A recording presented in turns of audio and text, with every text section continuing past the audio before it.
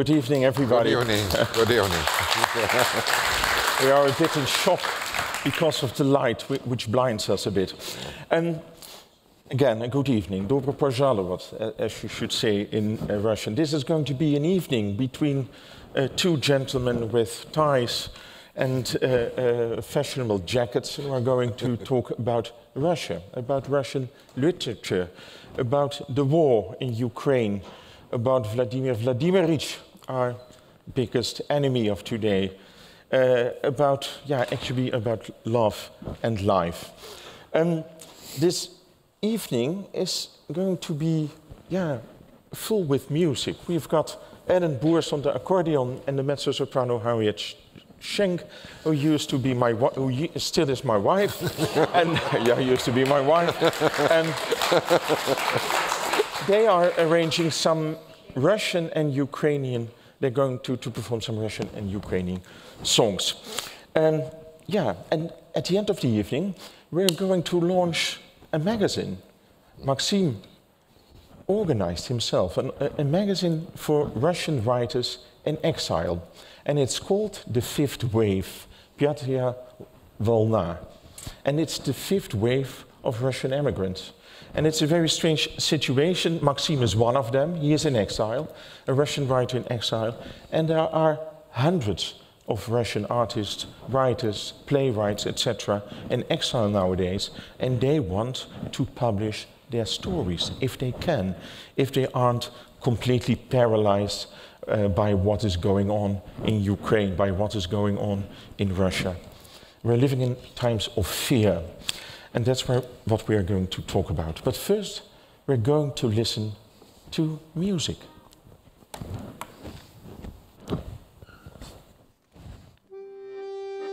Conchila Do you remember we were sitting at the river and I was singing a lovely song for you? But all happiness has gone. Was it only a dream?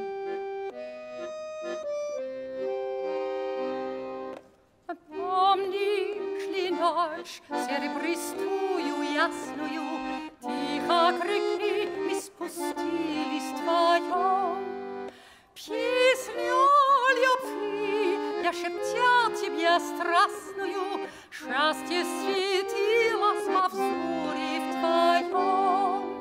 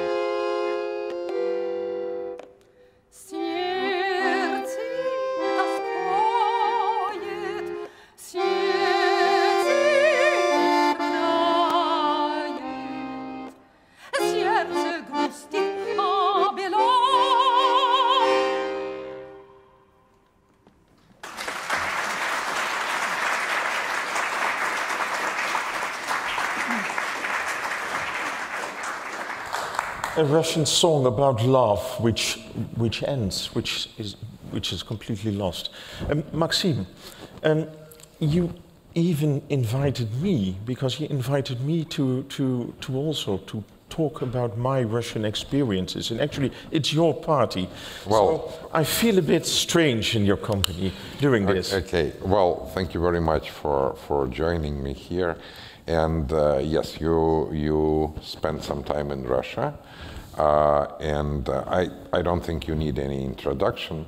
Here, you are so famous uh, in the Netherlands, but I will just read what I have. Dutch journalist, writer, and historian being Russia, Russian correspondent for NRC from 2007 to 2012, traveled extensively for his work throughout Russia. It's true. It's true. Okay.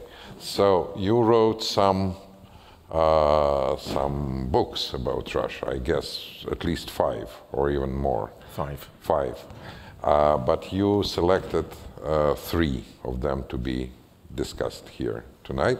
So would you please tell us about your work and you know, your yes. connection to Russia? Yeah, my connection in Russia is it's it's very easy because as a child I fell in love with the country, and it was after I saw uh, uh, Heifetz uh, film uh, The Lady with the Lapdog, based on Chekhov's story.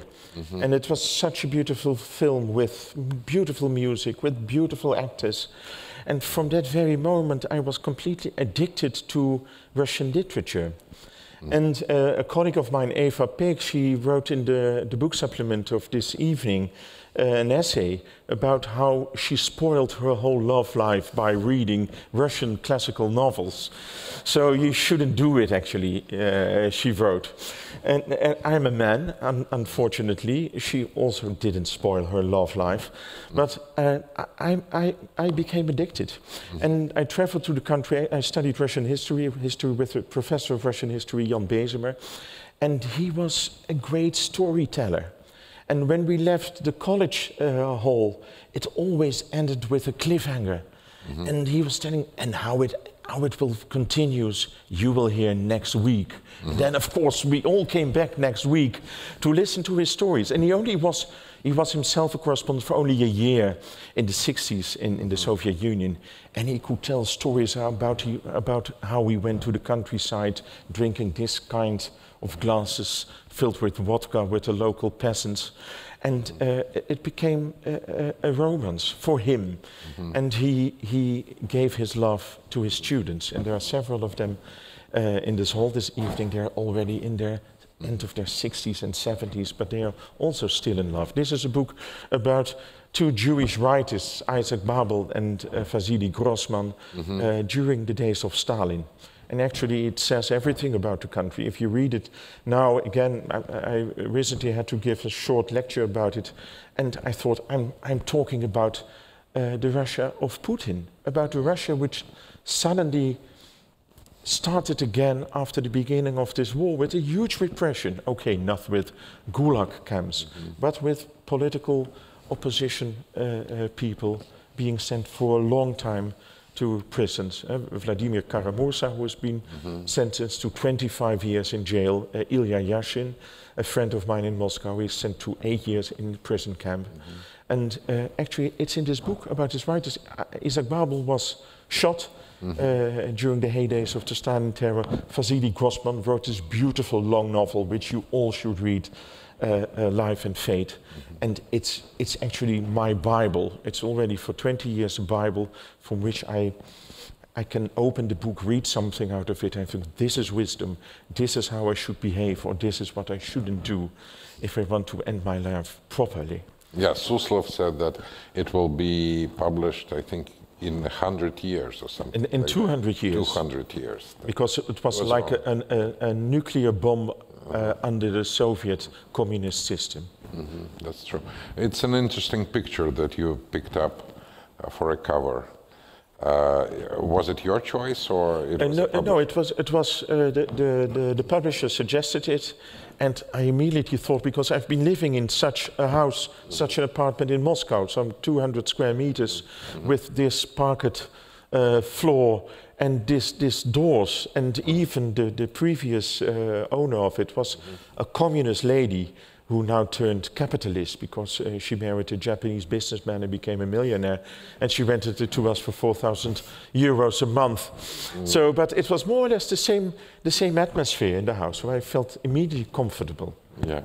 Well, uh, the interesting thing about this picture is that uh, looking at it, you know, talking about understanding, uh, why, you know, people ask me, uh, why don't I, I write about what I see around me these days? It's, I don't understand it, really. uh, you need at least half knowledge to, to, to write. Uh, to be surprised and to understand at the same time.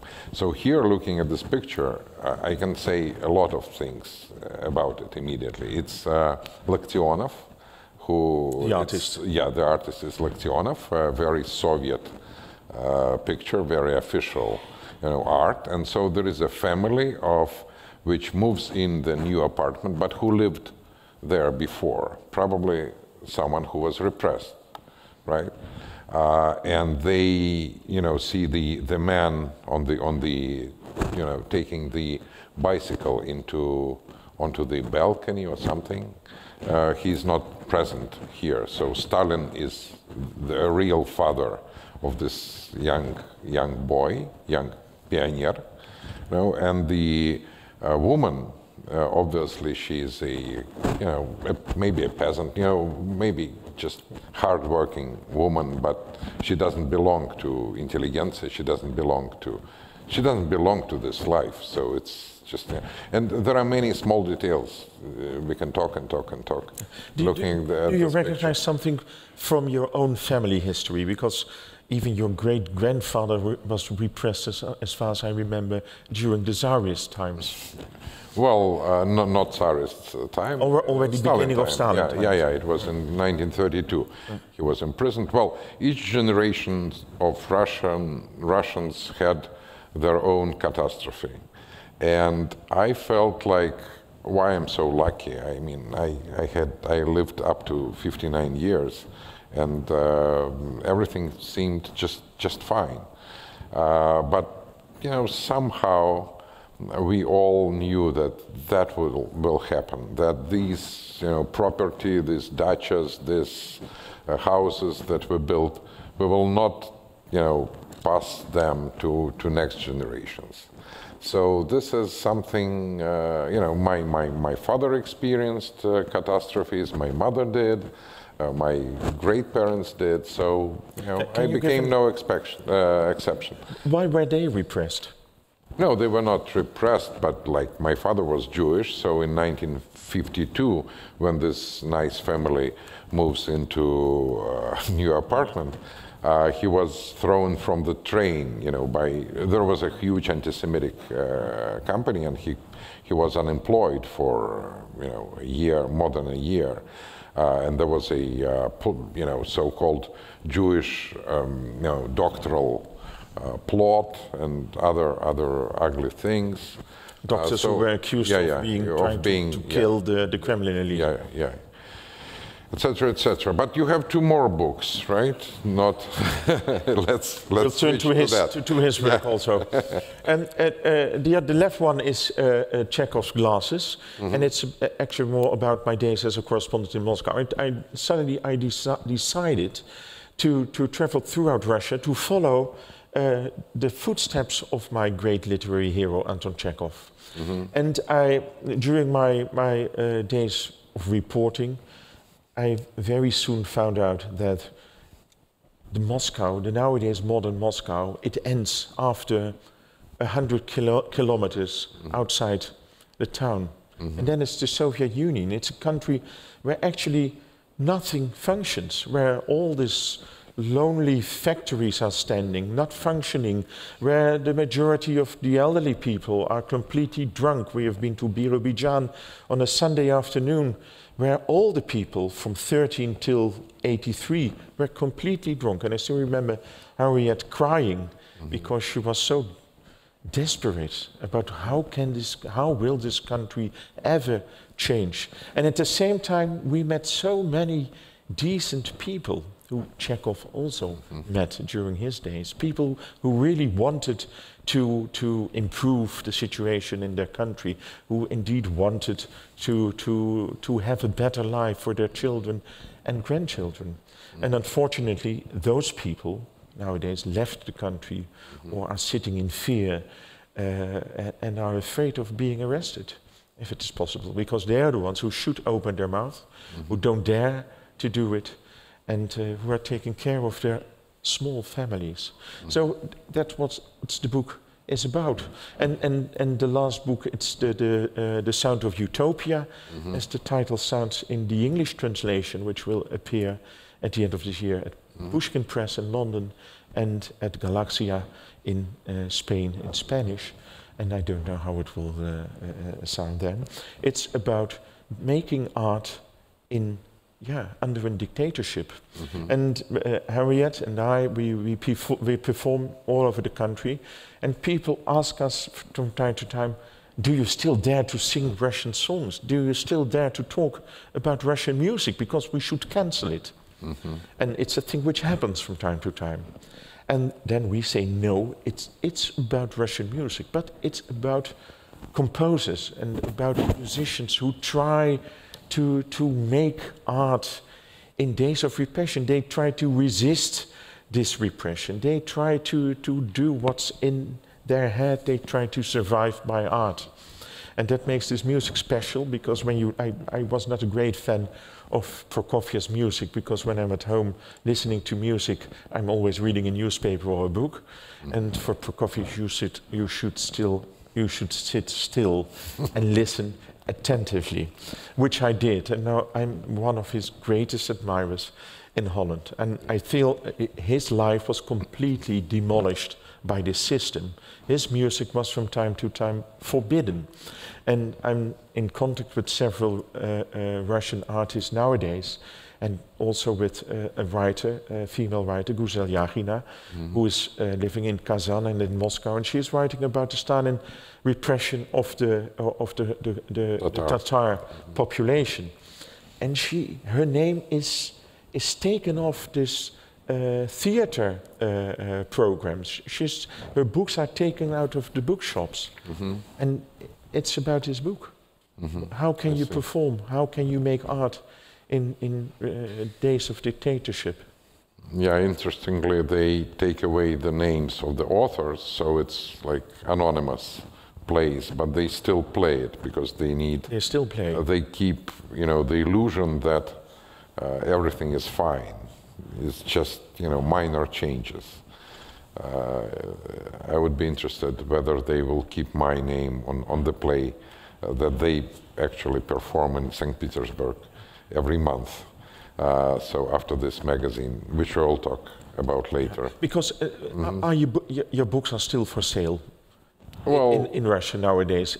Yeah, moreover, uh, they promised to, to, to publish a big collection of my well, the, the collection of all my stories this year, all together, in one big book. Mm -hmm. uh, so it is paradoxical situation. Yeah, and even mm -hmm. uh, uh, even though the, the government probably doesn't know that you left the country. Yeah, I don't know. Um, so you're, sti you're at this very moment you're still safe. We're going to talk about it later. First, we now turn to your work. Yeah, okay. Let me... You're going to, to tell us a bit about all your books. Yeah, and these are some books. Yeah, they are. Some books in, over there. In Russian, I wrote not too many uh, things. It's six novellas, 12 short stories, three plays, 12 essays, uh, and they are translated into uh, 20 languages. Uh, and I had, uh, you know, a typical, I would say not typical even, it was, uh, it was a very good career of Soviet, you know, Russian physician. Uh, I was born in 63, then I you know, was at medical school, residence fellowship, then I went to United States. Uh, I had, um, I got a grant from American Heart Association. And then uh, in 92, I returned back home because USSR collapsed at that time. and I was very, I would say, patriotic. I really felt, uh, you know, I need to be there. And uh, you could have stayed in the US. Yes, you'd wanted. yes, I had some, you know, suggestions, uh, but uh, but I didn't want to. I didn't like it uh, there. You know, I just wanted to be uh, there, and you know, first, I I didn't regret about. Well, I haven't regret about it, never. Uh, but so we all had the illusion that uh, now the life will go. You know, let's say take a European path uh, whatever. But in 92, it was a complete chaos, as far as I remember. Yes, it was complete chaos, but it was a time of big hopes too, and uh, everything seemed to, you know, develop. Uh, civil society, uh, you know, uh, different kind of organizations, everything. Now it's all, you know, it's all now uh, at the ground level. They really destroyed the whole, the whole society. The, the, the whole social life is destroyed. All people have is Facebook. You know, it's it. You know, for for you, it would seem funny. You know that the the, whole you know social life is reduced to Facebook, but in fact, uh, it is. It is like that. So uh, we all had great hopes, and then you know I was a medical publisher, and then uh, in 2005 I returned to uh, medical work, and I started a small charity uh, in Tarusa, In which is Tarusa. kilometer 101 from Moscow, uh, and so uh, then in 2007 I, it was my first literary publication actually. And since then, you know, I uh, really uh, and and this publication was um, uh, it called uh, in my native land, so в родном краю in Russian. And it made some, you know, it had some success and it made some uh, resonance. Uh, so uh, since then, I, you know, combine, uh, combined two things. Yeah. Because you were living in Tarusa. I've, I've been there once for, for a few days. Yeah, this is my house. it's- Uh, this is my window to the left. Yeah, lucky you. I hope it is still there. It's one of few few things I really miss about Russia is Tarusa, these trees that you know we uh, just uh, they were very small when we went there. And now it's And your daughter, who is a violinist, with your son-in-law, who is also a yeah, cello. they live in, in Frankfurt. They live Whole in family Frankfurt, live in Frankfurt. they, they yeah. have a string quartet, and I can Yeah. imagine them sitting on the, this veranda playing music in summer days. Because you invited me before the war started. Yeah. We, it, it will not take place, unfortunately. Yeah. And this is This the river. It's, yeah, it's a very beautiful, very idyllic uh, place. With, w- uh, the, there's the Museum of Marina Tsvetaeva. Mm-hmm. And uh, uh, it's a place where everybody of us would like to live for a few years. Yeah. Um, how was life when when you you started uh, started in Tarusa? How was it for you? You you started to work in the hospital. You were a cardiologist by, by profession. How, how was it? Because you wrote about it. Actually, you wrote. I still remember this sentence. Uh, uh, people they live, but actually they don't want to live. Well, Was the, the more or less- sentence was well. The idea was that it was uh, the uh, the um, uh, fear of death and unwillingness uh, to live. You know, at the same time. Uh, so yes, well, it was shocking, but it was it was interesting. It was very interesting, and I really felt it is you know my place. It's the place where I should be. Uh, so I, I loved it. Yeah, but you were also confronted by these local officials, by this local uh, corrupt police. Uh, uh, you wrote about them. Did you adjust to, to that way of living? Uh, well, I would You think, say okay, it's like that, we cannot change it. no, no. Well, first of all, we changed something. Uh, we changed the whole. Uh, you know, the all officials in Tarusa were changed in 2008 uh, after we had, you know, a, a fight with them. So it was uh, a huge resonance, and and they changed uh, the whole the whole crew.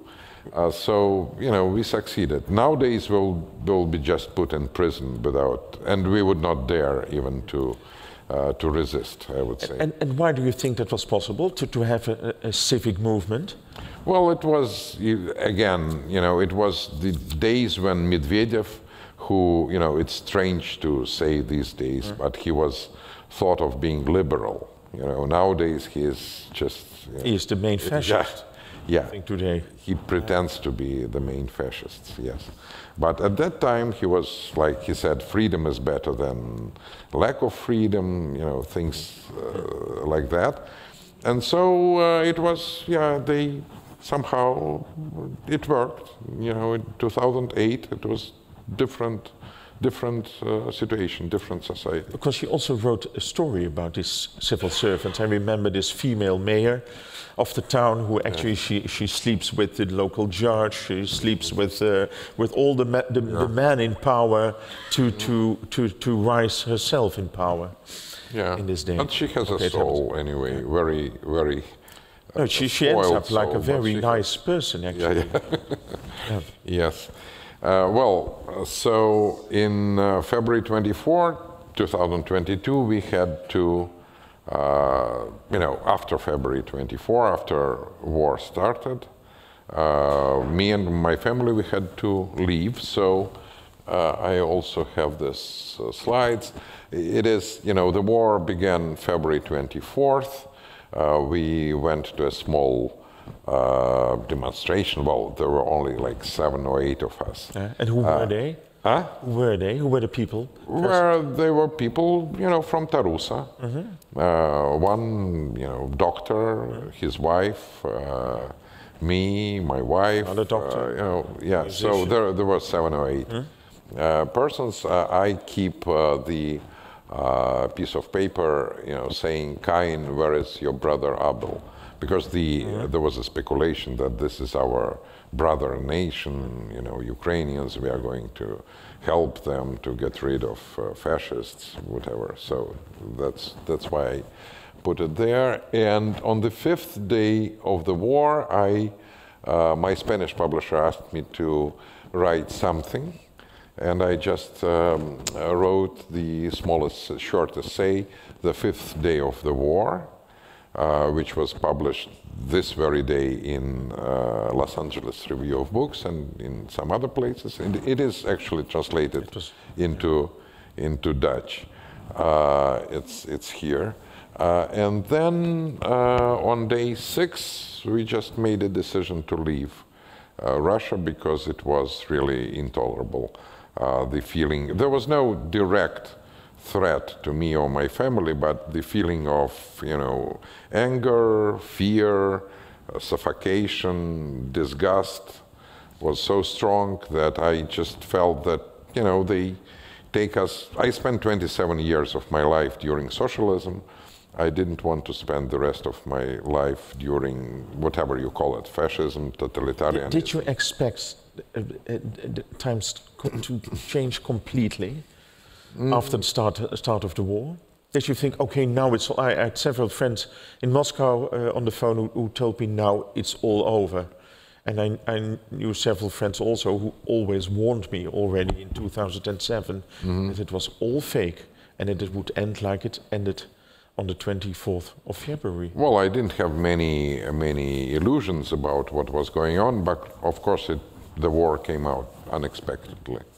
Uh, no one could expect just to you know just to smash your own country onto the into the wall. I mean, it is. I mean, How, how did there were seven protesters in Tarusa? Yeah, there were- there were- also people uh, cheering, Mm-hmm. like they did at, at the times of the annexation of the of Crimea. No, it was different. You know, uh, the the annexation of Crimea really uh, provoked, uh, you know, a real, I would say, joy among mm, simple people. You know, among many people in Tarusa. Uh, this uh, war didn't. No, it was it was totally different. uh, the feeling was, uh, you know, of course, I, I, guess there are some patriotic, you know, people there, uh, fanatic, mm. but uh, mainly people just they don't want to be mobilized. The whole society was, uh, you know, demobilized for so many years because the idea of propaganda was do nothing, sit on your couch, you know, watch television, uh, just do nothing. Mm-hmm. Uh, and uh, so now it's very hard to mobilize them. And were people in, in Tarusa mobilized? As no, you know? no, no. I, I would say no. So all no. people, majority of people from the east. No, I will tell you. It was like uh, when there was uh, election of uh, a presidential election in 2012, and there were mass protests in Moscow, and of course I also took part in this. Um, I asked my nurses from the from Tarusa. There were like four or five nurses. I asked them, "Whom are you going to vote for?" And they said, "Well, for Putin." And said, "Why? Do you like him that much?" They, "Not really." So why do you vote for him? They said, "Well, because our director of our hospital, if she knows that we vote against him, I said, well, look, first of all, there is no way she would learn it. Second, uh, she herself, I know for sure, will not vote for Putin. Uh, still, we are not certain. I mean, they said, uh, and said, uh, we are afraid. Afraid of what? And they never put gloves when they worked with, with blood really. I said, you are not afraid of hepatitis, you are not afraid of AIDS, of other, you know, blood transmitted infections, but you are afraid of that. Well, still, they went and voted for Putin. So, uh, can you call it a real support? Know, no. So I think, you know, 70, I don't know the, the exact number, but maybe 70, 80% of population uh, lives like that. Yeah. Where, where does it come from? I'm, I'm always astonished to hear such things. I've witnessed several election campaigns mm -hmm. and I've been standing at the voting uh, uh, cells in Moscow and Petersburg, and always people were, because my boss wants me to vote for him or her. But is it, is it Soviet behavior? Is it the Homo Sovieticus returning? Well, it is Soviet, but it is also uh, I mean, look at Americans. They, I mean, people vote the way their neighbors neighbors vote. So the uh, mainly. So I I wouldn't blame uh, people. Well, people are. You can corrupt people. You know, even adult people. You can spoil them. So people are spoiled. Uh, spoiled uh, by Putin as well, but it started all at Yeltsin's time. You know, the first uh, the, the second election when uh, Yeltsin uh, was against Zyuganov. It was not a fair election. Because the Yeltsin so, government was afraid of the communists coming back. Yes, true. Yeah, and I was afraid too, and I was wrong. And uh, I myself hmm? said, I must admit, it is a big political mistake I made. I, I said, okay, give me million ballots, and I will vote for, you know, throw all them for to prevent Zyuganov to be communist, mm-hmm. to, to get back into power. So now, when I have fake election, I always remember what I was saying myself at that time. Can you imagine that all the, those reforms of the, the Yeltsin government, mm-hmm. these economic reforms, which, which, were very harsh for the ordinary population, people lost all their savings. Mm-hmm. But in the final end, I recently read an article about it, mm-hmm. they were more or less successful. Well, some were, some some were not. Was, did, did, did, did, they have a chance, these reformers of the 90s? Well, the, the main look, I am not an economist or analyst or whatever, but the main, uh, I would say, the main uh, mistake we made was that we didn't write democratic songs. Hmm? If I, you know, the, the role of songs in Soviet uh, tradition is so big that we had like uh, they were written by very gifted, mainly Jewish composers, uh, and uh, Fradkin, you know, mm-hmm. others, uh, and then uh, Blanter, one of the best uh, composer for the songs. So if you have a song, you take a song book It will always start with songs about your homeland. Uh, so th that was the language uh, government spoke with citizens. So it was about all aspects of life. So it was about homeland, about your mother, about uh, friendship, about children, about nature, about self-sacrificing to help uh, you know, your friend, uh, all kind of, of things. Uh, so, and you know, you need to replace it with somewhat else because that was that were songs that people sang for for decades and they know it by heart and we had uh, anthem uh, with Glinka's music in the 90s mm -hmm. but I cannot recall it even because it had no words. But the music is we, very good. Well, music no. is very good, but what do you do with the anthem without words? Uh, and then, you know, these reformers said, no, no, market will put everything on its places, you know, so market.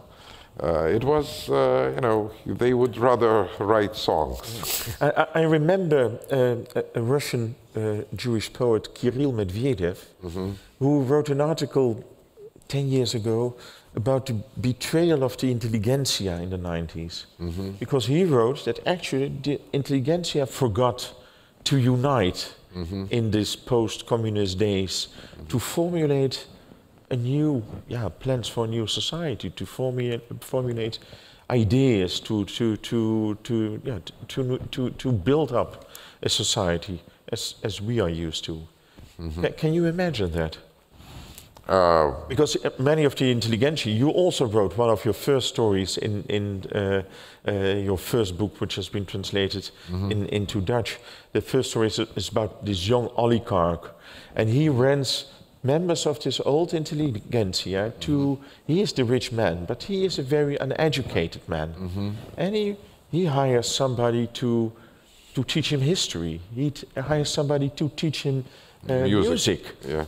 And they are people from the old intelligentsia with these glasses, with, with tape uh, uh, collected. They are so very poor. They don't fit at all in this new post-communist society. Mm -hmm. And I know so many of them from my, from my own experiences in, in Russia. And actually they should have been uh, building up this new society and not those former uh, KGB officers. Yeah, well, the, the problem is when I had uh, uh, in, in Leiden with my students, we read Babel, uh, Babel's stories. And in his stories, there are a lot of Cheka, people from secret police, uh, which is now FSB and formerly KGB. It's the same organization with long history. And, and, and criminals in Babel's story. Well, criminals are the most charming ones, and you know, Cheka is also charming. In fact, not, none of them are charming.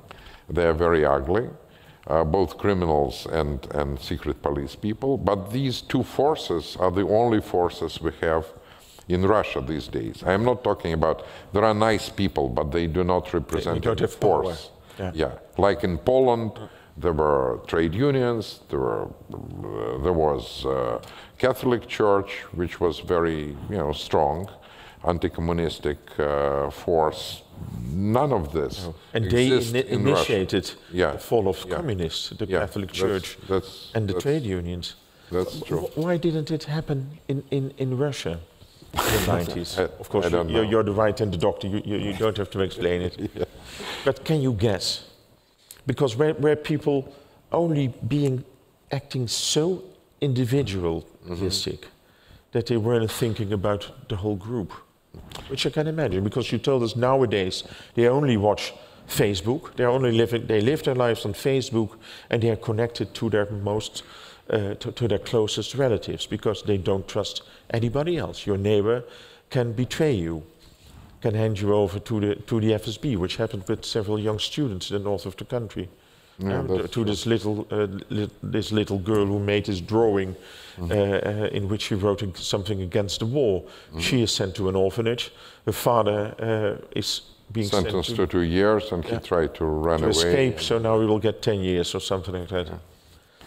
Well, I don't have answer to your question. I don't think it was unavoidable, mm. uh, and uh, well, I think it is. You know, uh, also it's not just you know it would be an easy thing to say it's a bad luck you know or whatever it's not just a bad luck it's uh, of course it, it has its roots deep into into russian history into history of you know our slavery for so many years i don't know uh, so what do we do next let me read a story Let, let's read a story yeah uh, so I have a few other yeah, slides. Which like we just translation, Great are, Expectations or something? These are, yeah, it, it's just two books in Dutch.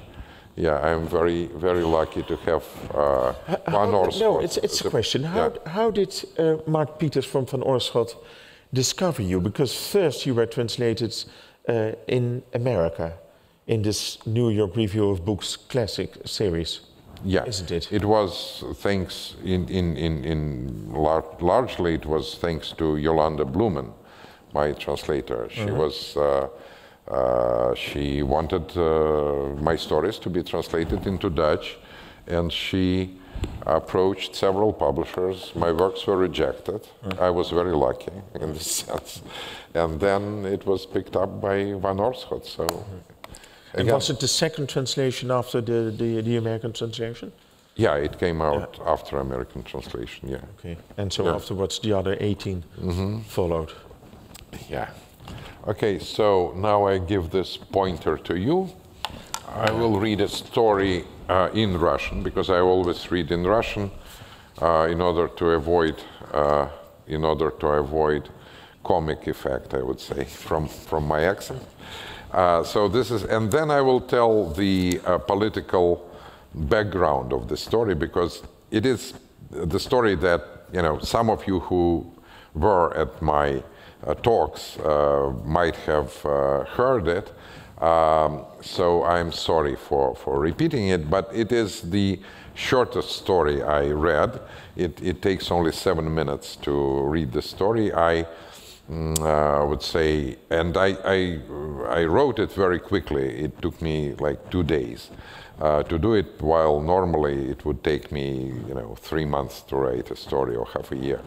So uh, this is a story uh, that I will read in Russian, and you can uh, follow uh, the English translation. Большие возможности. Вообразите себе возможности – Скоро у него будут большие, практически неограниченные возможности. Он настаивал именно на возможностях, которые перед ним откроются, непременно, причем в самые ближайшие времена. Пусть она имеет в виду, говорил он, что у него все хорошо и теперь, прямо отлично, много лучше, во всяком случае, чем она может себе представить. Она, разумеется, никак не представляла себе ни теперешних его возможностей, ни тем более тех, на которые он намекал – Ей всего-то надо было от него, чтобы довез поскорей. Уже и не вспомнишь, куда, в редакцию, в гости, в театр. Ей что же, выходит, неинтересно послушать, кто он такой? О, она, кажется, знает, но не станет произносить. Еще один приставучий, болтливый водитель, Гордончик. Одно из нескольких слов по-армянски, жаргонных, которым ее научили друзья. Гордончик, несмотря на проблемы с гласными, а, да, а, куда благозвучнее, ласковее, чем бомбила по-нашему, хотя означает ровно то самое. Это Москва, каждый второй автомобиль тут такси. Только поднимешь руку и сколько, а сколько дашь? Нет, он не бомбила.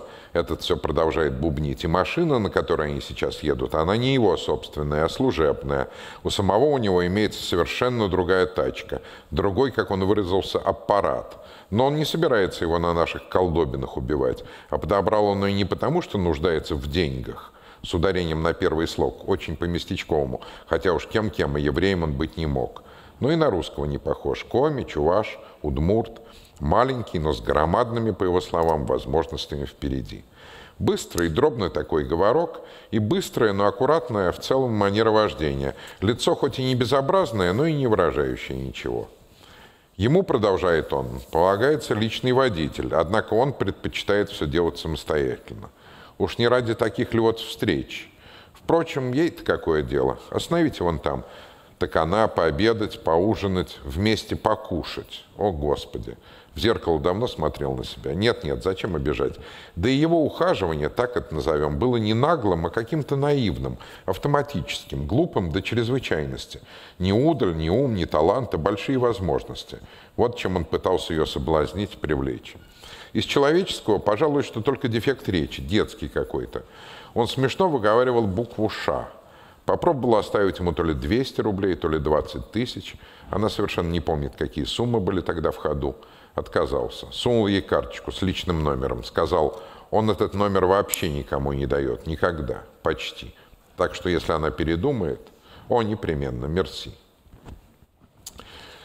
Победы, подобные этой, не приносят и тени радости. И она никогда бы не вспомнила низкорослого гордончика, Мало ли кто влачился за ней до и после, хотя так нелепо, как он, мало кто, если бы не случай, не происшествие, сильнейшим образом изменившее жизнь.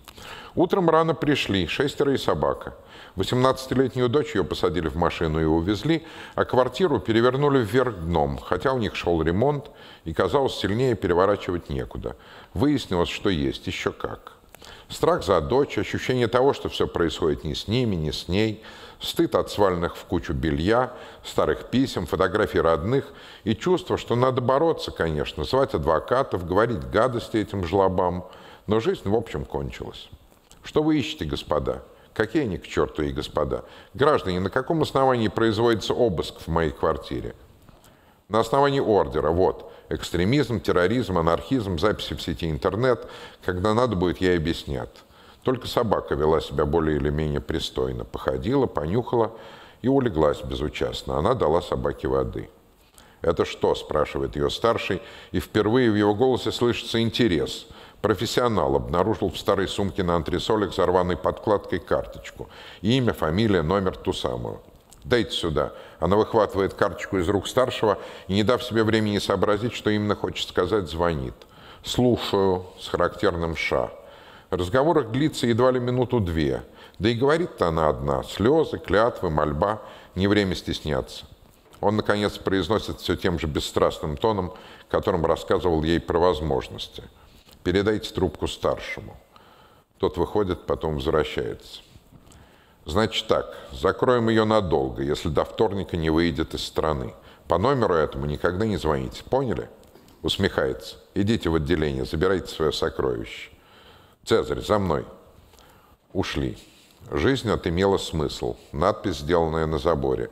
Автор надписи неизвестен. Часто хорошая, самая лучшая. Автора не имеет, как частушка, пословица, анекдот.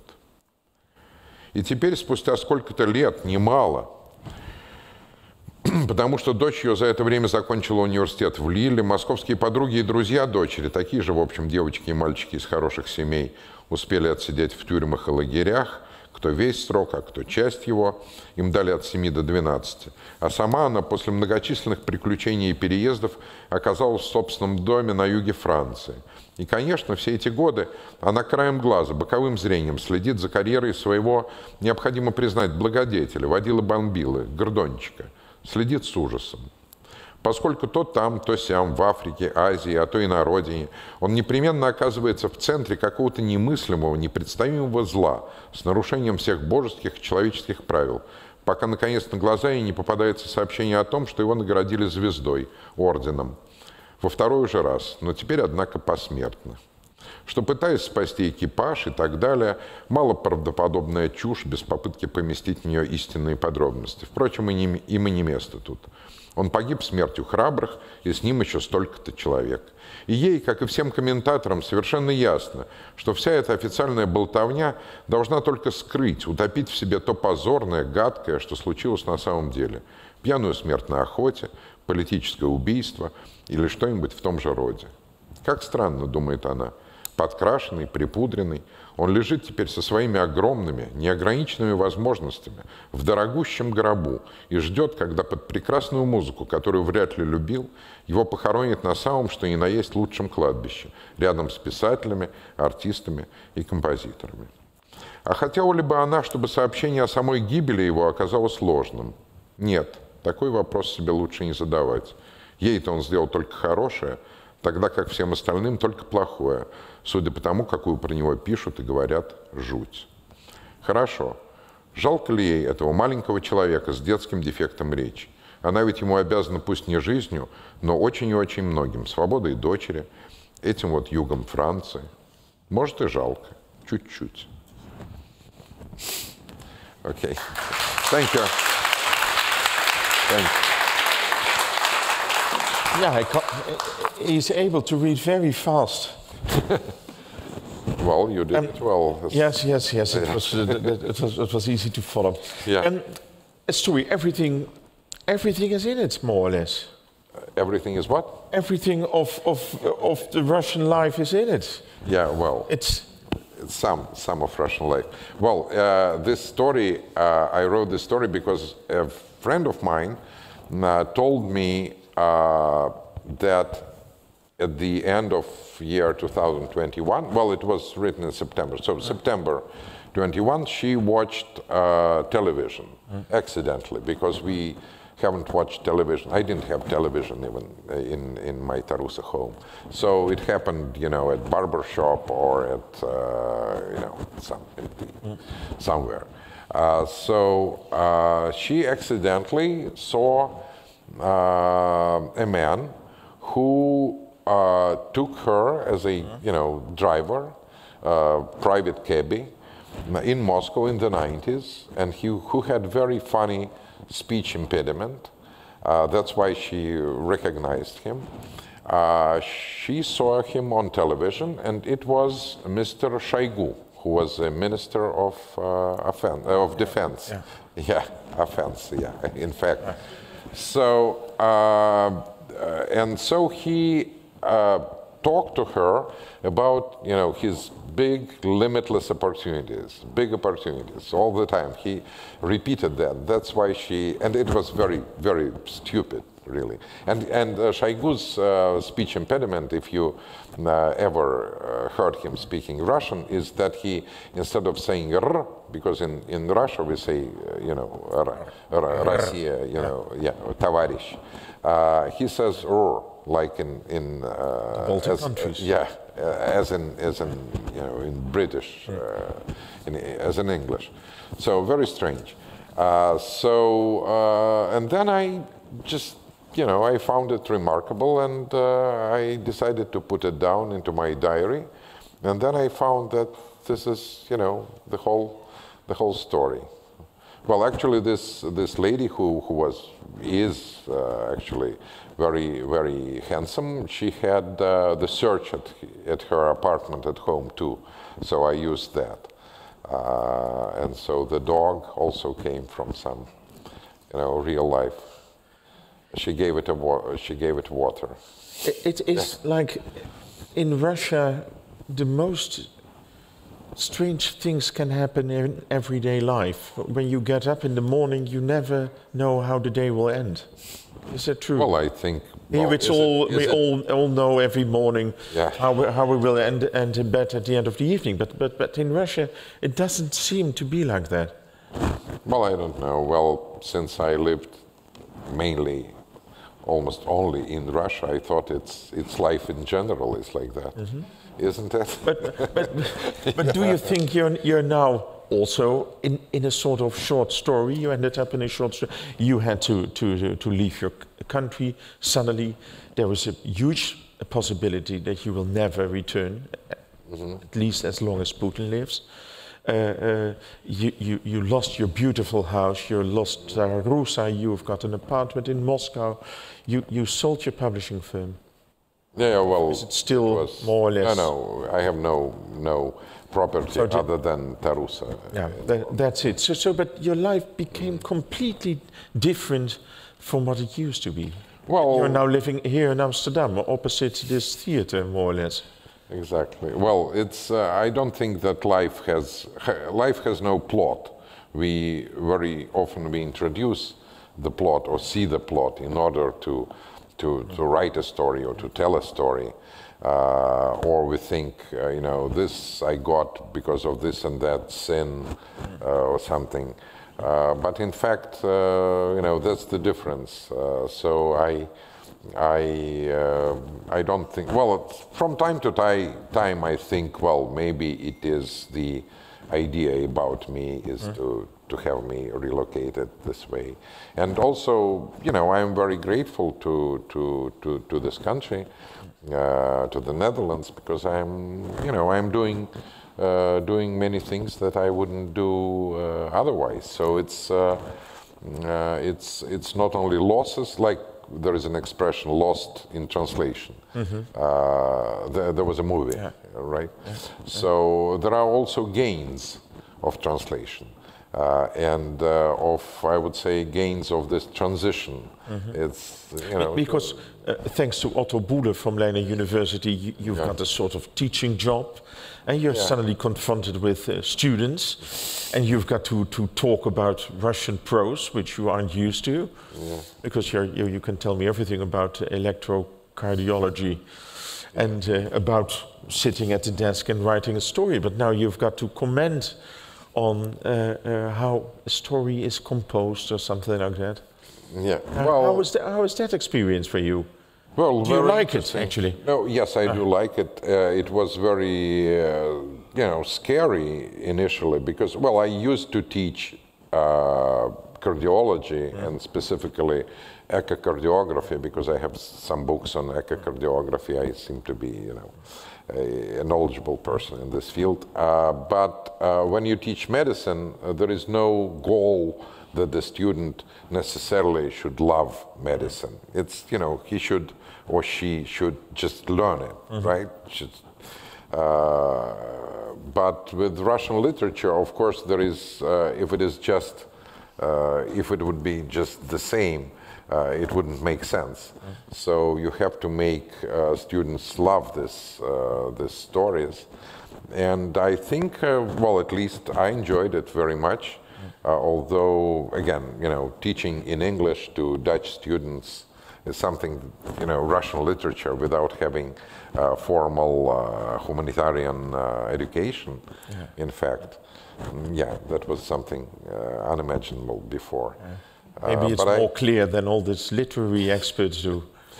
Well, I tried to to to look at the, and I selected the stories that somehow have some personal, uh, you know, t- personal meaning for me, and for them, I, I think.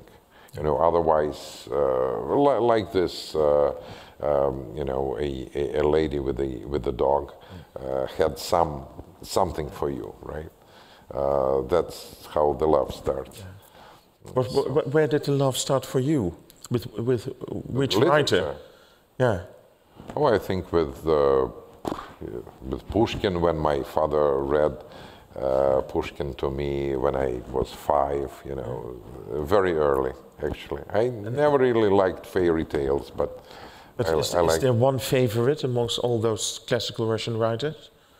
No, I don't think I should. Well, from time to time. yeah, I, I remember you reading uh, uh, War and Peace every year. Not every year. It was Alexander Bloch who recommended to read it every Okay. spring. Oh, and? And even you? indi- You followed indicated- well, I read it maybe five times, but not, you know, but not every it's year. still a lot. I think it's time to, to listen to To music isn't it? again, yes. And then we're going to talk about uh, your magazine Yeah, and about your write, what, what you're writing nowadays. yeah. Music. Now it's autumn, and I'm thinking of spring, and I still do love you.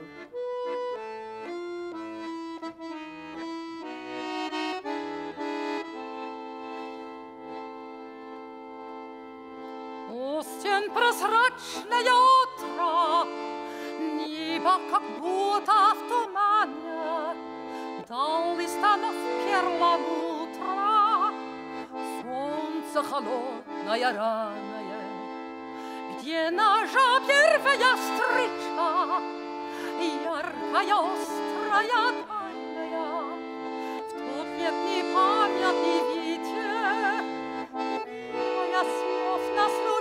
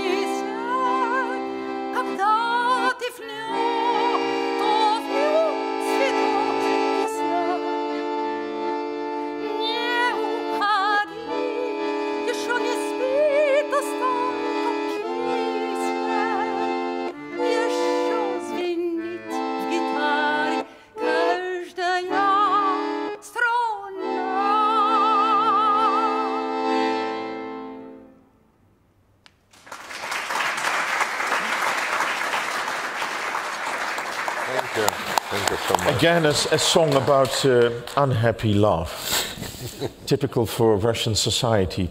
Um, uh, we're again, um, we're, we're continuing talking about literature. Are you writing now? Can you write now during these days? Because I, I, I recently read a, a letter of Mikhail Shishkin, a Russian writer whom I admire, who lives in Switzerland, and he has completely a complete writer's block because of the war. Well, uh, when I left uh, Russia, I went to Yerevan initially, and I called uh, my friend uh, and translator Boris Dralyuk uh, in America, and I said, uh, "Look, now I quit medicine," and he said, "Oh, then we will have more work. We will have more to translate from you." And I said, I, I made a joke, but I didn't know how how in fact, how much truth is there. I said, well, no, I said, writing is for beginners. It's just for graphomaniac people. Uh, real writers, professional writers, they go, they make talks, you know, and uh, lectures. It's, they are talking about writing. They are not writing. And in fact, uh, you know, I this month, uh, I, you know, in March, uh, during the month, uh, month from now, I was in, in Ghent, in Brussels, in London, in Oxford, now here, To- and to do- talking, talking. talking About literature or about, or about Russia?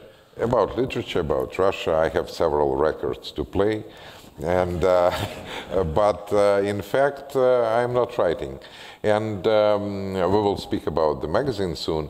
Uh, it's very difficult to to find uh, decent modern prose uh, these days, but there is a lot, you know, real lot of very good uh, poems, very good poetry.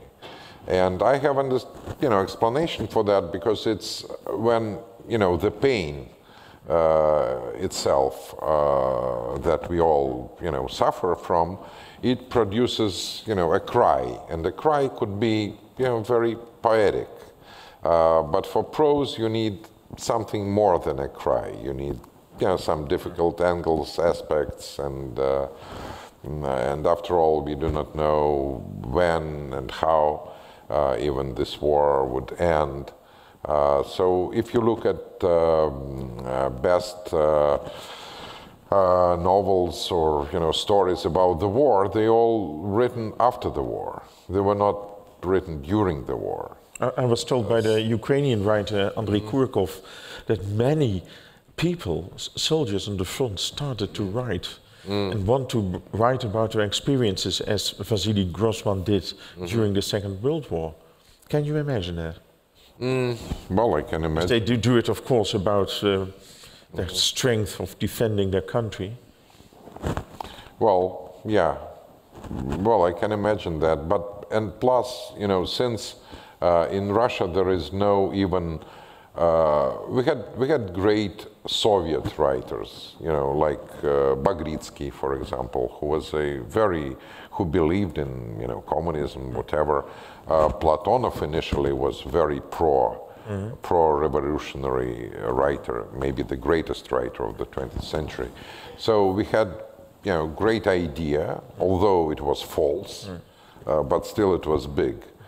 Uh, but look at uh, Germany; they didn't have uh, Nazi writers, any, you know, any talented uh, Nazi uh, No decent novel was yeah, published. yeah, and uh, and in these these days when we have no uh, even illusion on uh, you know of being being right somehow in there is there is no way it's it's you know it's it's really it's very depressive uh, And does that mean that, that, that prose writers are more or less paralyzed by what's happening now? well I can I can talk about myself uh, Yeah. only And? you know yes uh, yeah I would say yes yeah plus uh, being in the uh, you know here it's uh, it's very nice etc but I really have very little clue about uh, about life in in in this country uh, in fact What, what, do you think? We, we read all the time that so many people are more or less supporting the leader. And we recently had this television series of uh, Jelle Brandt Corstius and uh, Ruben Terlouw. They are traveling uh, throughout uh, Central Asia. Uh, they were in, in Kazakhstan where they were interviewing uh, some of the guys who, who fled the country because they didn't want to get mobilized. Mm-hmm. And when they were asked, to whom does this country, Kazakhstan, this city in Kazakhstan, mm. belong? They didn't want to answer. And actually, the answer they gave was, it belongs to Russia.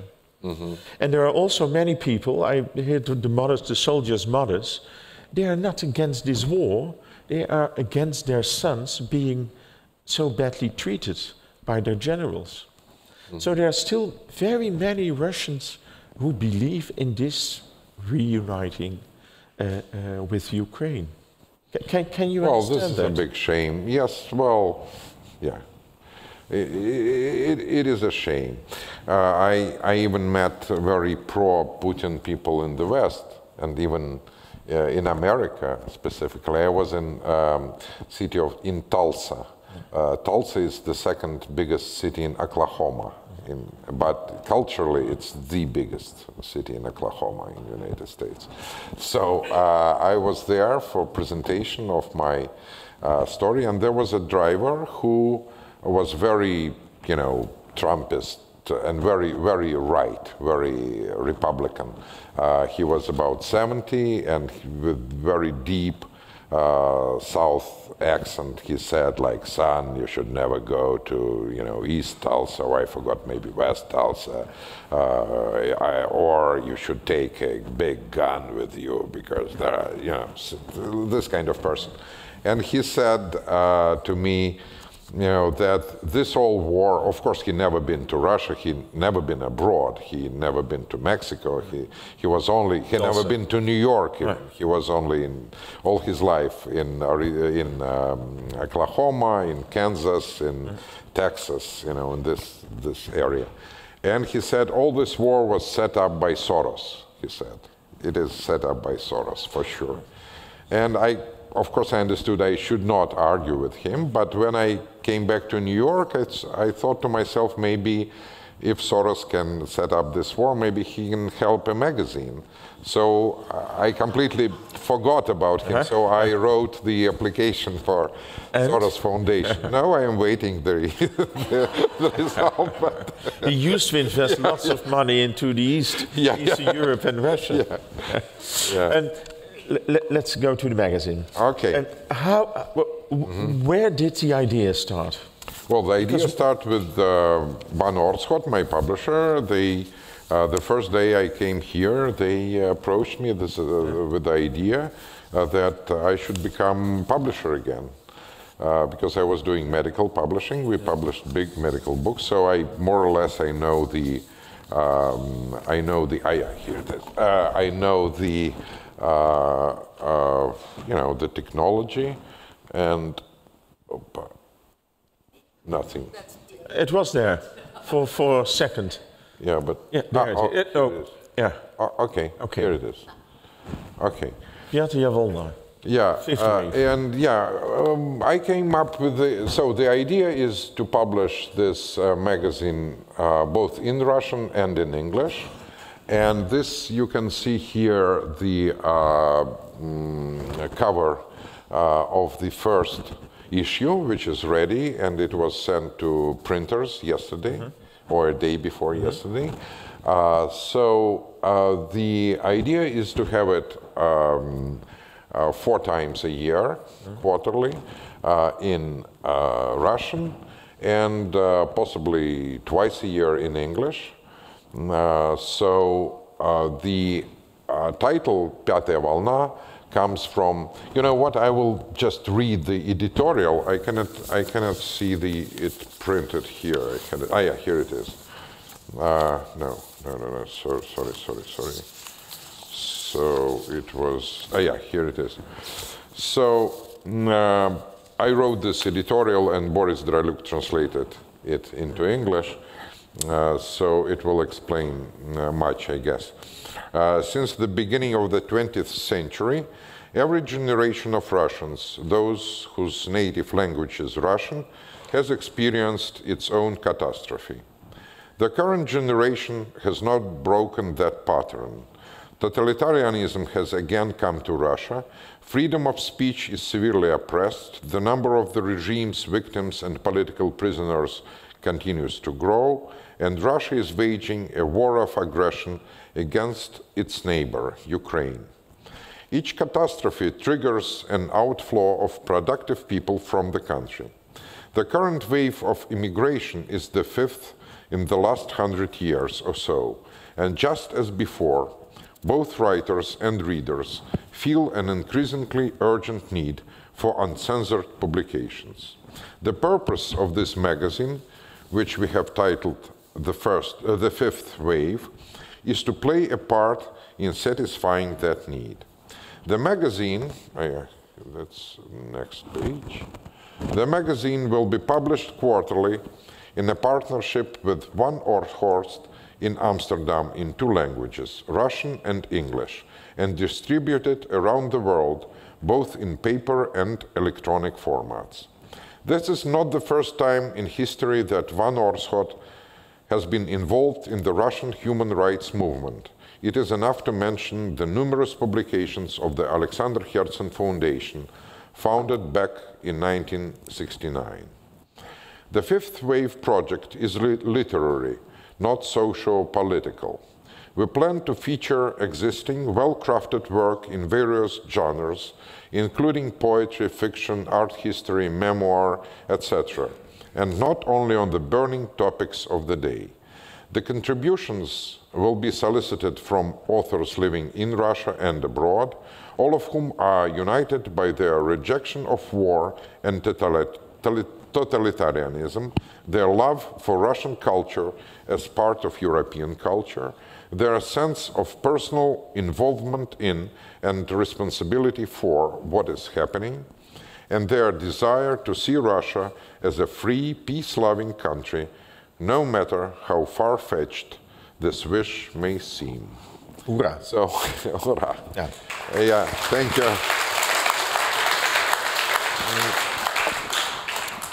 So, um, let me show also the, the cover of uh, uh, English, uh, published by, you know, I'm doing Russian uh, mainly, uh, well, Russian edition, and uh, Van Oorschot is doing English edition, and here the picture of the of the title page uh, and uh, the picture belongs to Semyon Agroskin, a good friend of mine and very well-known uh, artist who's, uh, he nowadays is in Paris and he has his big exhibition in Paris and in Marseille. And uh, so the, the previous one, yeah, uh, so this is also his work, actually. And so my, my cover looks more tragic, I would say, than yeah. than a Dutch one, right? Because actually, actually uh, a question. Mm -hmm. The fifth wave. Mm -hmm. The first wave was immediately after the revolution. Yes. When was the second? The second was after, during the Second World War, when a lot of people were taken uh, by Germans, you know, and, to the and, west. And stayed and in the west. Stay, stayed in the west. The third? Uh, the third was mainly Jewish, but not only Jewish. It was it started in the 70s, yeah. and it ended by the beginning of 80s. Uh, and the fourth was after USSR collapsed. It was mainly, you know, economic uh, thing, but not only economic. Many mm. many scientists uh, uh, understood that they have no chance to continue their works uh, in Russia. so it was a very big wave too, and now it's the fifth. When I read all those names mm -hmm. of the contributors, I actually I don't know the majority of them except Maxim Osipov. No, but you I, know, I never read you know Gandlevsky, who was there by name one month ago. There was Google, Gugolev, who was here too, mm -hmm. uh, and uh, well, um, I would say uh, that you know important uh, thing is to uh, say that it is not you know, Russian literature in exile. In fact, it's uh, you know it's independent Russian writing. You cannot call, uh, for example, Karine Arutyunova. She lives in Kiev. You cannot call her being in exile, but her mother tongue is Russian, Russian language. and uh, Russian language doesn't belong to the state and it doesn't belong to the country. Uh, it is now being spoken elsewhere. So uh, Lena Berson lives in Israel. Vasily Antipov, this is a separate story, but you know I, I will briefly share it with you. He lives in Germany. Gugolev lives in Moscow. Arutyunova lives in uh, Kiev. Eisenberg lives in Moscow. Lichevsky lives in, lives in Israel. Vedyapin lives in Paris. Gandlevsky is in Georgia. Likmanov is in Uz- Uzbekistan. Nikolsky travels between Yerevan and Lyon. Uh, so, and me, I'm here. So, you know, it's the whole. But can you imagine the, the, the writers living in Moscow writing an anti-war story? Yes, Yuli Gugolev is a very brave man and he writes anti war. And, uh, and of course, you know, Isn't that dangerous for them? Well, uh, it's yeah. I think they take a big risk, but they write it. They publish it in Facebook, uh, and uh, yes, it is. It is a certain risk. They are they are very brave people, but uh, mm, you know they they they are poets and they write. Yeah. Th- th- There's going to be an edition on paper, of course, which we can buy at the kiosk. Yes, And there's going Yes. to be an edition uh, as, e- as an e-magazine, e e-book. Yeah, electronic book. an electronic book. Yeah, it won't be on uh, web, it won't be on, on, on the internet, the text. Uh, but electronic book, which is ready in Russian too. I was very lucky to have a great. So pe- people in Russia can order it by ozon.ru. no, they cannot do that because they cannot pay for it. So I have some ideas on how to uh, distribute it uh, to them from you know some organizations to get certain amount of copies and then allow people to just download it from the internet. And many people wouldn't even share their emails. You know, people don't feel comfortable No, because they that. don't want to be Yeah. connected to And they an- don't want to be in the mailing list or, you know, something like that. So. So how, how will it go, you think? How, will- how will it reach, how will it reach Russia, the Russian public? Well, through the channels I said, uh, if you send like thousand copies there, it will be everywhere because people would. But it will be a sort of it. samizdat. Yeah, sort of. Ah. yeah, sort of. Yes, yes. Actually, we should turn to the floor to, to Yes, Ask I think we should ask people to, if they have questions. if they have get, got questions, because questions from the floor can always be very interesting. So there's somebody in the. Yes, that's very good. The first one. Uh, what is happening with uh, Ukrainian and Russian? Um there is a problem, no? There is a problem, yes. There is a very big problem. Yes. But, but what we do between the language or between the countries? Yeah. No, I mean uh, uh, the language. I'm talking only about the language. You say there is uh, someone uh, from Kiev writing in your uh, thing. Yes, she is a Russian writer from Kiev.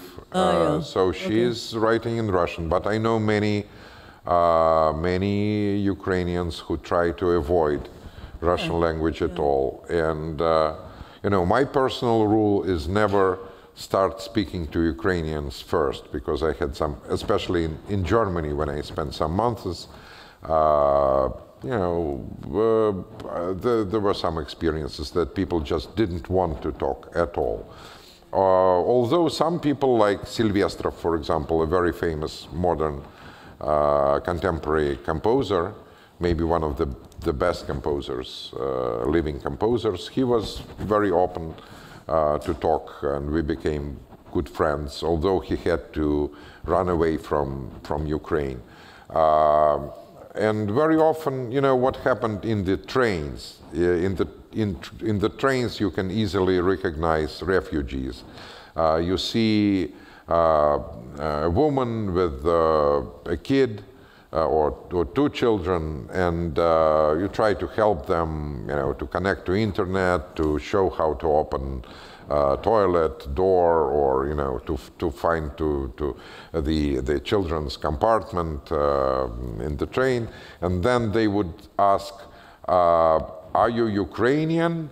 Then they would make a pause and say, "Or you are for a long time here." So I always said, well, I'm for a long time here, yes, very long. So, yes.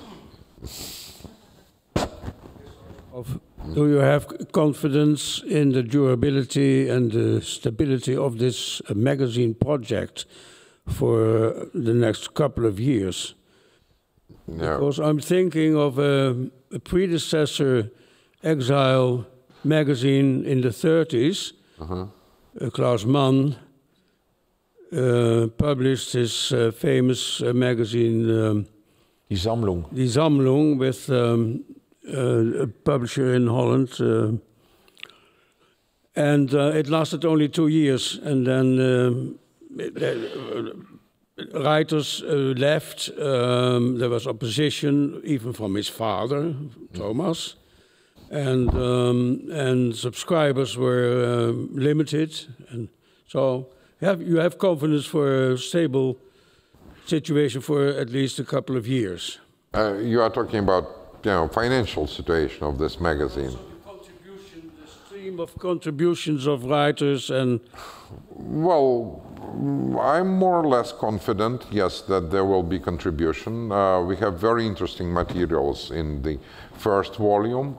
Uh, some of the materials, well, we have to work on it. Uh, the, I would say that the biggest, uh, the biggest um, story in this uh, magazine is written not by a writer, but by a musician uh, who spent eight months in Belarusian prison, and he's a very special, I would say, person. to whom I helped a lot to write because he he was not a writer at all. Uh, and I think, but he's a very gifted person, very, uh, in many, many aspects, uh, physically very strong, uh, very, uh, he was an, not only a musician, a professional musician, uh, but also an alpinist, and he, you know, they, you would, it is already translated into English. If, if you are interested, you will have a chance to read this story. So, uh, you know, I try to um, collect material not only from professional writers, but, but from many people. And I hope that uh, after uh, we have uh, already very good second volume, so I, I hope that uh, we will be able to, to have enough content, yes. Um, and with the help of Prince Bernhard uh, Cultural Fund, who helped us, and uh, another fund which asked not to be named, and a couple uh, individuals, um, uh, Germans, who are helping, and you know some others. Uh, I hope it will, you know, I really feel like, yeah, I'm I'm quite optimistic about the the future of this magazine. Yes. Mm -hmm. Um, yes. Um, oh. Well, if someone is if, if, if someone is interested, of course, I don't know German. Well, I have a very very limited knowledge of German, and I am not very well connected there. So, of course, I mean. Mm -hmm.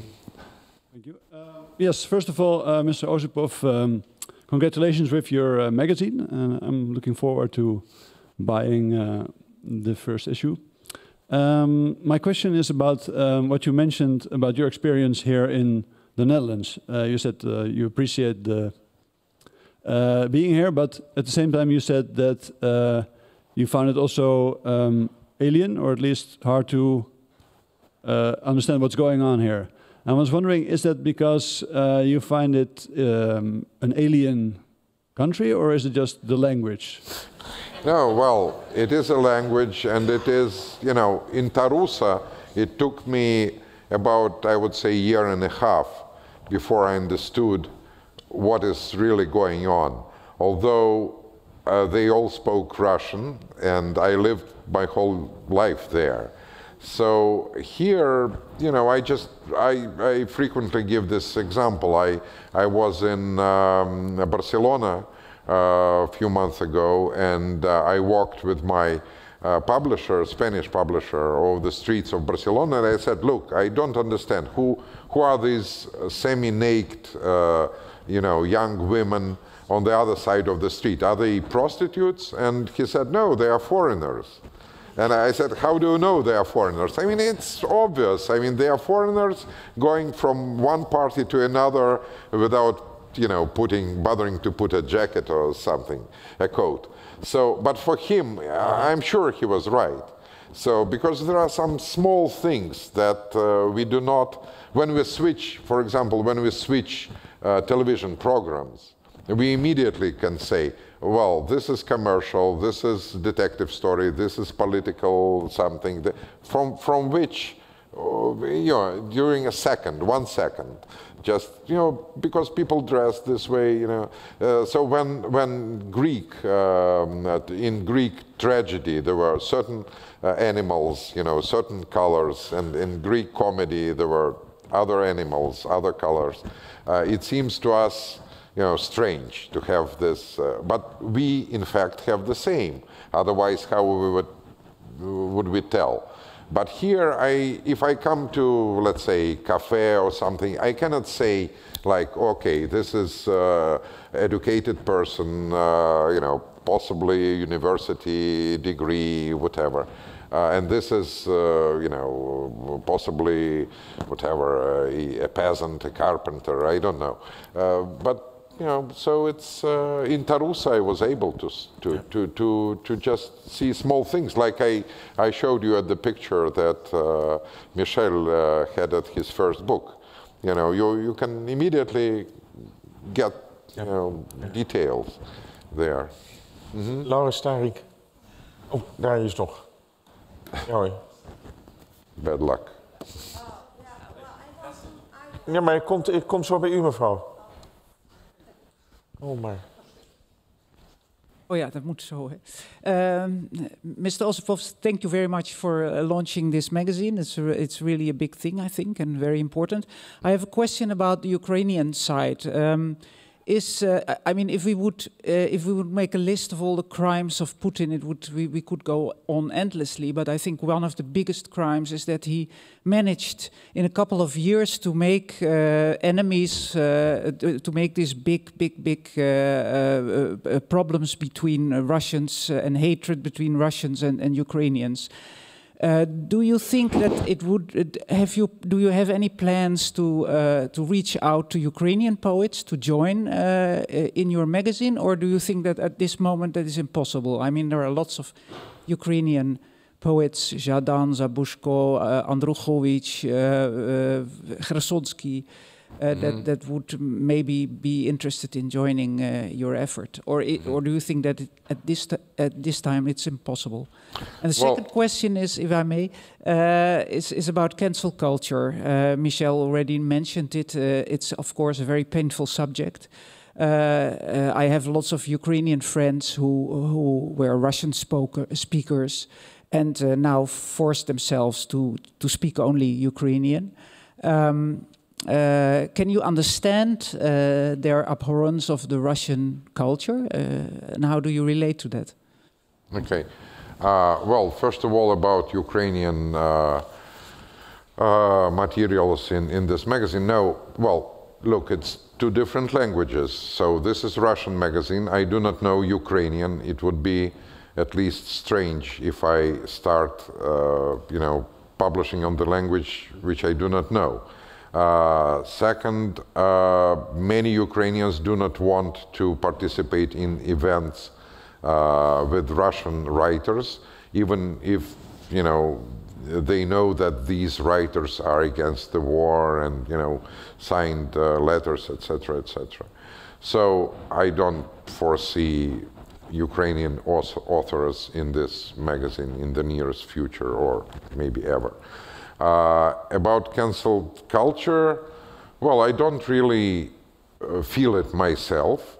Uh, I think that uh, it is natural for in Ukraine uh, to uh, to avoid Russian language and avoid Russian culture these days. I don't care about destroyed Pushkin's monument because it's you know when when children are being killed. Uh, then there is no no uh, room for sentiment about uh, monuments. Uh, and plus, artistically, uh, I guarantee these monuments are not the, the, greatest ones, so they, they should be destroyed very often. Uh, and uh, as for cancelled culture here, I don't feel it. You know, I, uh, I am honored to uh, run, this is the second event here in the center of Amsterdam on Russian culture. Uh, and there will be two more. So how can I complain about that? Uh, there are some people who uh, say, I, I, saw this, uh, you know, banners saying uh, there is, uh, let's cancel Dostoevsky because in every word of Tolstoy and Dostoevsky there is, Now we can hear Bucha and Irpin and whatever. I don't think it's too smart. personally, I think that you know, you cannot say you you can hear uh, Schmeissers and Messerschmitts and you know sense of uh, gas chambers from every note of Beethoven or Bach. You know. That would be ridiculous, I guess. And uh, plus, mm, you know, Russian culture is imperialistic culture, yes, but it is also anti-imperialistic culture. Uh, there are many things, uh, you know, many Russians uh, in the 20th century were killed by, uh, by the government, uh, etc. It's, it's much more complex than people want to see, really. And so I think it's, it's a bit, you know, it, and, you know, if somewhere in Warsaw, uh, they would not dance uh, Nutcracker, uh, then you know Tchaikovsky will remain Tchaikovsky, Pushkin will remain Pushkin, and we will remain who we are. So, yeah. Meneer, in het midden. Ja, we komen bij. Yeah. First, uh, thank you for uh, sharing your uh, personal journey. Mm -hmm. I have a question, um, a totally different question. Uh, if you have to choose, uh, would you choose uh, being a writer or for cardiology? Well, I have chosen to be both, as you could, could see. You know. No, it's it's totally different. it occupies totally different parts of brain, really. Uh, it's not much similarity in these professions. I, I don't think it's it's a real choice. You know, it's uh, I have chosen to be a writer only now because it would not be possible to uh, start from scratch uh, to, to to learn a new language and to go all the stages young uh, doctor must must go. So it's I don't have time for that. Uh, but uh, of course I miss it too. But Mevrouw, beneden. Uh, ja, uh, hallo, ik ben uh, Carina Holla en ik ben theaterma um, theatermaker and I'm met Svetlana Alexievich in Amsterdam. And I heard about her work in Sweden, where she had also lived, and she uh, wrote the book Warrior Women about how women, Russian women, uh, fought in the war. I made a play about it, Warrior Women. And uh, when the war broke out, I had to play the play. and we thought about to uh, el eliminate all Russian names, which I didn't do. And um, uh, with fear in my heart, I played this play, uh, Warrior Women. And um, then it seemed that the public had different problems. Some problems from Spain, some problems of being Jewish. So they were not at all at that moment into this war. And now we're going to play it in Groningen and later perhaps in the north of Sweden again. And I'm very connected to Svetlana and I'm very connected to the people there. And one of the sentences was um, a lot of people think that Hitler um, uh, fought, no? Uh, the Americans, sorry, the Americans have uh, defeated Hitler, but there are not so many people who know how many um, dead the Russians have given, like 40 million in three years. And the end of the sentence is the only way is to love each other and to understand each other with love. So I want to say that. Thank you. Oh. Thank you. Thank you. Bovenin.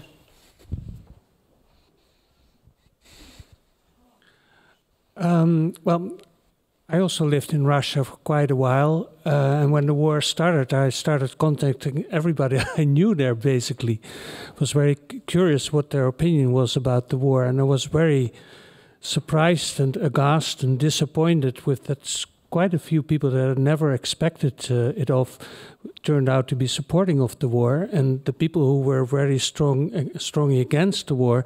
That some of them during recent months also turned uh, the corner and started to support uh, the war.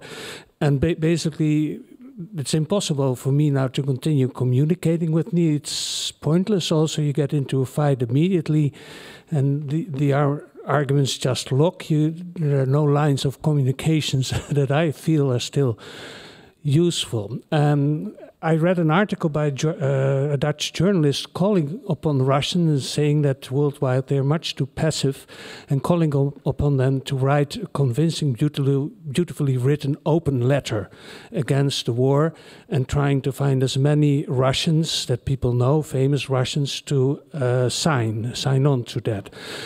Um, so I think that that would be a good uh, initiative, and I think you would be perfectly equipped to start that and write something beautifully and convincing. So I, am wondering what your uh, opinion is uh, about this idea. Well, my opinion is that I am not going to convince uh, anyone because I think it's it's useless.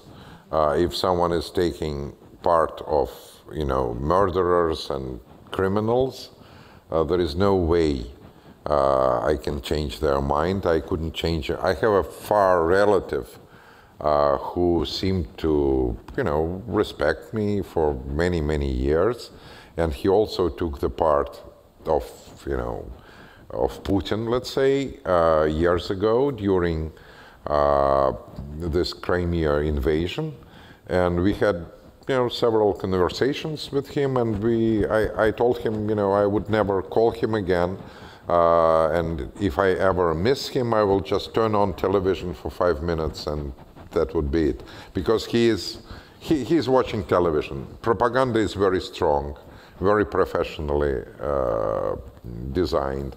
And, uh, you know, so the aim uh, of this magazine, and this magazine, after all, it is not political magazine, it's it is literary magazine. Uh, of course, uh, it has, you know, as I as I said, it has, you know, we are all agree about certain things, including the war.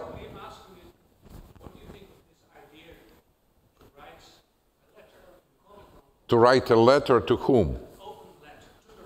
Well, we, we, had, we, had, we had hundreds, thousands of letters. Yeah, well, yet, yet another letter would not hurt. Yeah, that if you're asking about this, this particular uh, letter, yes, of course. Yeah, please. You want me to write a letter? Oh, okay. Well, I told you what I think. I, I won't do that because I think it's useless.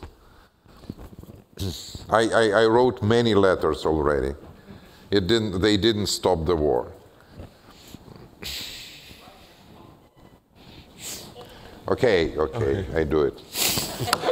I write a letter. That's typical Dutch.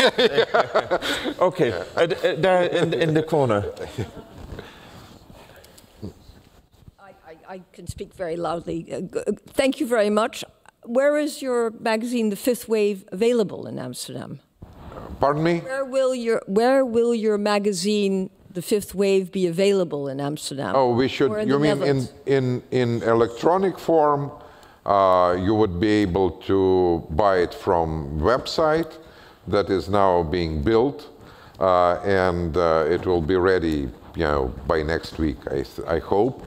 Uh, in uh, printed form in the in the bookstores uh, in Russian and in English you can buy it from website again you know of Van Oorschot uh, and uh, again in in English uh, in in bookstores I guess yeah so in traditional traditional ways of distribution I would say yeah.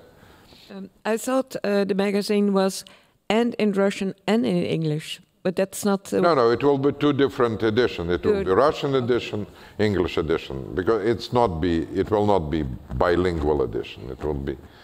Mm -hmm. Question. Yeah, we have a question above.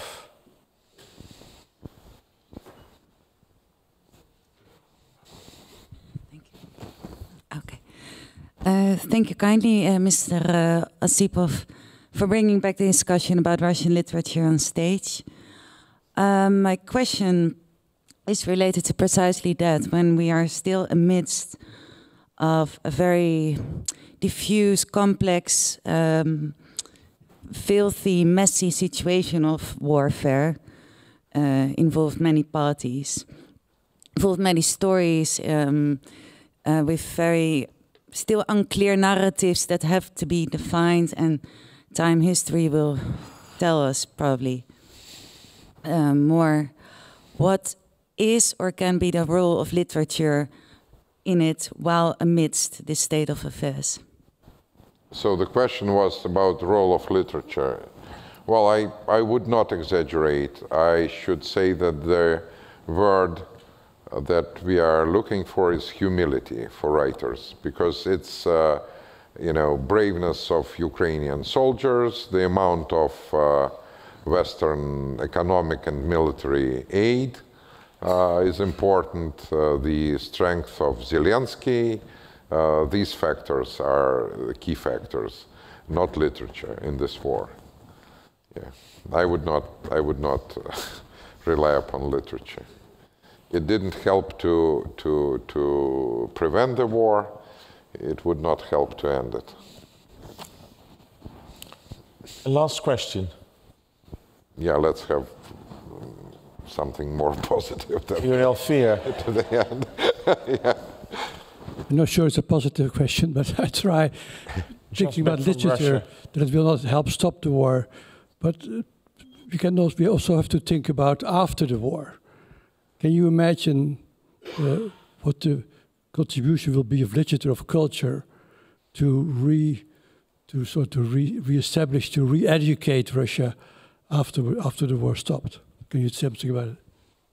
Well, I I am not very I am not look looking at the literature or any kind of uh, arts uh, that pragmatically. I think uh, you know literature and art in general serve uh, purposes of, of beauty. Uh, so, of course, it has humanistic, you know, component into it, and I, I'm sure that you know this humanistic uh, thing will, you know, will will will be there, will be present there, and those who have ears will will hear. Uh, so that that's what I what I think about it. Okay, so let's switch to music then. Ah, yeah. Sorry. This calls for the famous Dostoevsky quote that only beauty will save the world. Yeah. Yes. Well, in a way. Yeah. Okay. We can discuss the, uh, the, the whole of it during uh, the vodka, which is going to be served in the hall. I'd like to thank you very much, Maxim. Well, thank you very much, but we have music. No, we are, we, we, after I close down, uh had listened to the last song. I thank you for coming here, for listening to Maxim Osipov. I hope you, Maxim, will soon start writing again okay, thank about you these so much. strange people of the Dutch. Yeah, thank you. And hello. finally, Schenk. Yeah, thank you. Thank you, Michel, and let's introduce let's the last. Uh, the last song, Maxim asked me to sing a Ukrainian lullaby. The dream asks sleep. Where should we rest tonight? Where the cottage is warm, where the cat is purring. There, my little child will sleep. I